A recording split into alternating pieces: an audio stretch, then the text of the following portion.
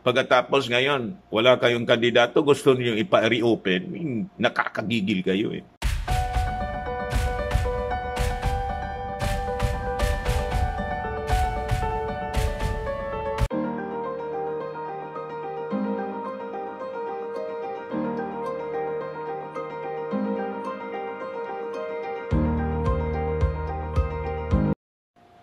Hello po mga kababayan, kumusta po kayo? Ah, ngayon, ah, i-update ko lang po kayo ng mga kaganapan, especially ah, dito po sa filing ng uh, COSI faction ng PDP Laban to reopen the ah, filing ah, ng Certificate of Candidacy kasi alam naman ninyo po, wala silang kandidato, umatras yung mga manok nila. Ah, alam na ninyo yung kwento. So this time, siguro, may pinaplano sila uli. Uh, baka may naisip sila na itulak na kandidato. Sino kaya yon? ano sa tingin ninyo mga kababayan? Di kaya si Inday gusto nilang itulak uli na to run for president? pag uh, pinaintulutan ito ng Commission on Election, everything is possible, mga kababayan. Baka biglang yung unit team, pak! Di ba? Remember that blood is uh, thicker than water, mga kababayan. At yung laro ng mga taong ito, ay,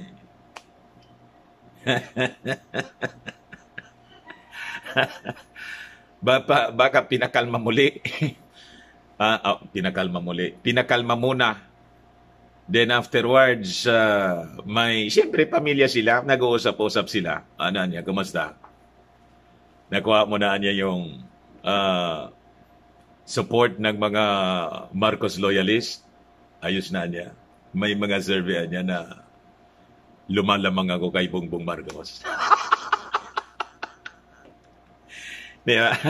Pero close anyang masyado. And I think anya with my, pwede na nating, pwede na tayong tumakbo for,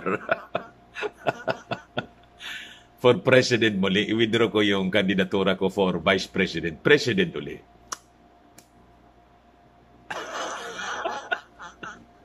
Hindi kaya ito yung plot?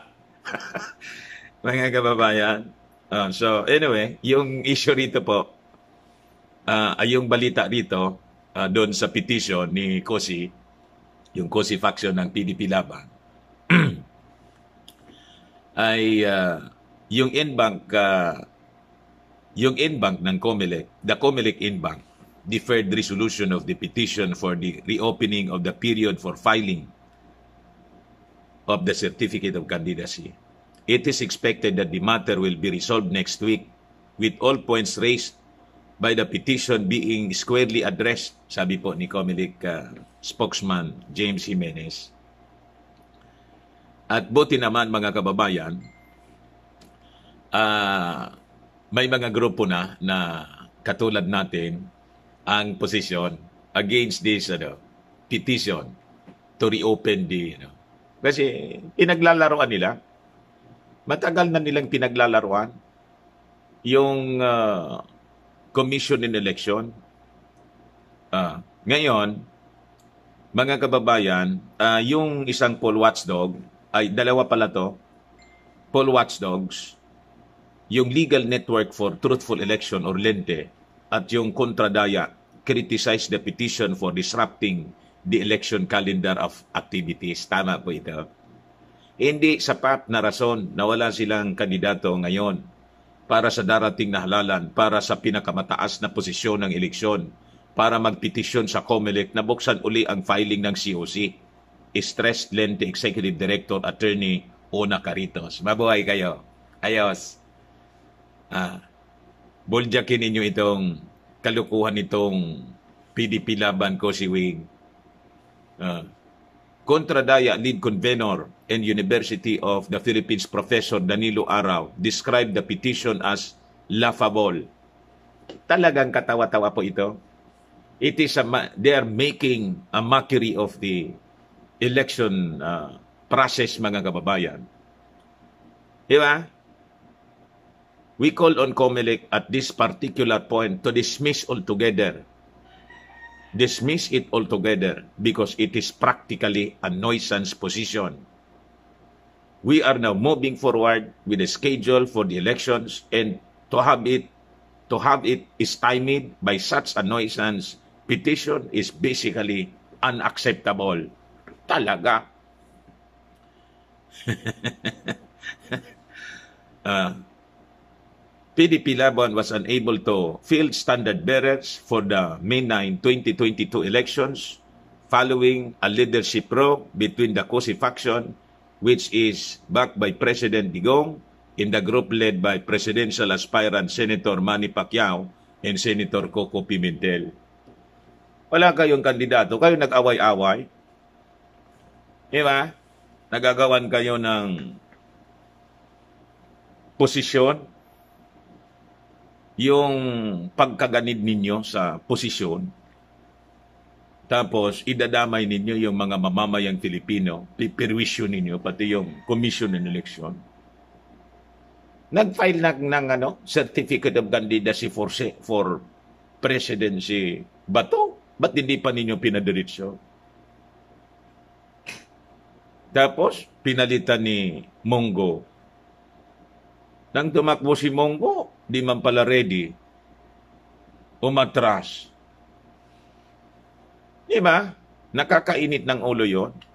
Pagkatapos ngayon, wala kayong kandidato, gusto niyo ipa-reopen, nakakagigil kayo eh. Ano ngayon ang plano ninyo? Di ba? Tama yung sabi nila, you want to disrupt the election activities. And possibly, tama din yung analysis ng uh, Pimentel Wing ng PDP Laban. Yung sinabi nila na it is a ploy to postpone the election para you continue on, you know, alams na. You're cling to power. Uh, yun ang intention ninyo. Or maybe ngayon, ito nga yung sinabi natin kanina, sino yung ano, yun ang tanong natin. Pag rini-open, pinagbigyan kayo, alimbawa, sino yung itutulak ninyo? Si Inday? uh, wala man kayong tao. Sino ang pwede na uh, i-field ninyo as standard bearer? Wala na kayong tao other than si Inday, as you believe na si Inday dapat tumakbong Pangulo noon at hindi sumama kay Bongbong Marcos kasi as the President stated, di ba yan sabi ng Pangulo, ba't kanya tatakbong mababang posisyon kaysa sa Pangulo? O di ba narinig ninyo yon? Imataas yung ratings mo sa mga surveys Talo mo si ano, si Bongbong Marcos. Uh, possibly, ngayon, may mga negosasyon kayo. Ito, kuhan ko lang to. Theory ko lang. May guess. Ano ang rason at sino yung nasa isip ninyo? And remember, sabi ko nga kanina, blood is thicker than water. Yung mga away-away, ang tingin ko nga, drama. Drama ninyo. Di ba?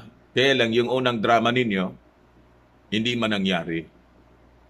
Hindi umobra yung inyong mga leverage. yung laro ninyo para magkaroon uh, ng leverage kayo kay Bongbong Marcos, hindi umobra kasi firm yung posisyon ni Bongbong Marcos. Never to slide. Di ba?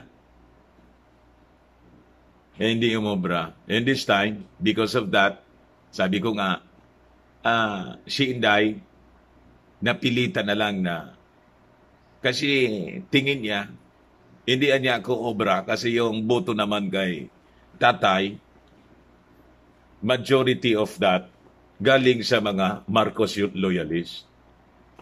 And this time, nag-unity may mga surveys, may isang survey po na lumamang siya, no? Di ba? lumamang si Inday, mas uh, marami yung boto kaysa kay Bongbong Marcos. 54 yata yon At 51 si Bongbong Marcos. Or 55 si, ano, at 50, uh, 52 si Bongbong Marcos. Remember? Uh, ang hindi ninyo siguro na-realize, kasi yung uh, posisyon na tinatakbuhan ni Inday, may si Presidente. Iba naman kung Presidente, o magkita natin kung Presidente siya.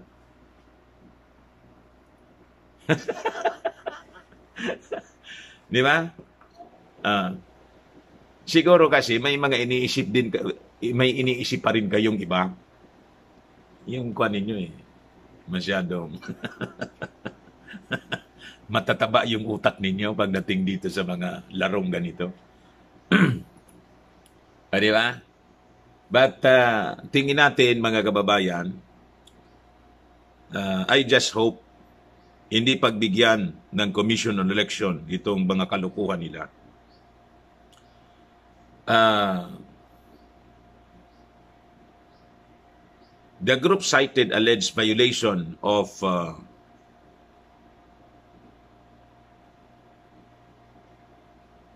Hmm. Ano? Ah. The poll body is finalizing the official list of candidates ahead of the printing of ballots next week. Meanwhile, a petition urging the poll body to postpone the elections until 2025 filed by the National Coalition for Life and Democracy was not tackled in the in-bank session, sabi po ni Jimenez. The matter was maybe candidate for next week in bank. Talagang sunod-sunod ang mga ano, mga aksyon nitong mga grupong may may maitim na adhikain.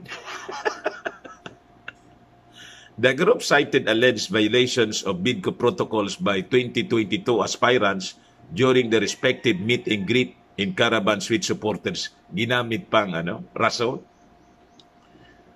Uh, NCLD said these activities not only place the life, health, and safety of the poor and innocent in jeopardy but also made vote buying possible. Bugok. Ginamit pa ninyo itong issue para lang uh, makuha ninyo yung gusto ninyong mangyari, extension ng mga nasa alam namin kung sino yung nagtutulak sa inyo nito. Gina niya, Mr. Maravilla. Siyempre, yung magkikinabang sa extension, alam nga naman. sino sa tingin ninyo yung magkikinabang sa extension in postponement? Ah, sino?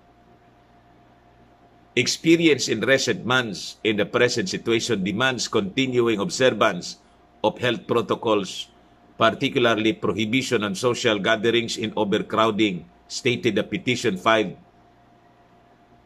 before the COMELEC. Pero sabi po ng COMELEC, walang rason to postpone the election. Wala man talagang rason. Itong mga isyong ito sa ano, itong health crisis, pinapalaki lang po nila para sa sarili nilang kapakinabangan. Wala silang paki, mga kababayan. Ah. Ah. Sabi po ng COMELEC,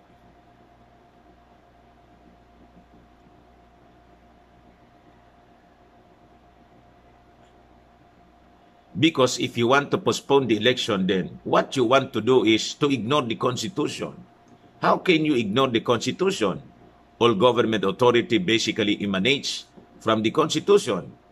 And if you want the Constitution to be ignored simply because you want to stay in power, then you have a big, big problem. Butit nakalata kayo. ah, hindi ako nagsabi niya na, nagsabi mismo, si Jimenez, yung Commission on Election. Ah, sa tingin nila siguro, they want to ano, itong mga nasa likod nito, yung nagtutulak po dito sa mga abogadong ito, uh, they want to stay in power. Tapos na yung kontrata ninyo. Patapos na. Gusto pa ninyong ano? Gusto pa ninyong magpasasa sa ano? That is ano, kasakiman ang tawag doon. Sobra na. Tama na po. Tama na. Kung pwede nga lang na palayasin namin kayo ngayon-ngayon, itulak na namin kayo dyan. Gagawin namin sa perwisyo ninyong ginagawa ngayon sa mga mamamayang Pilipino.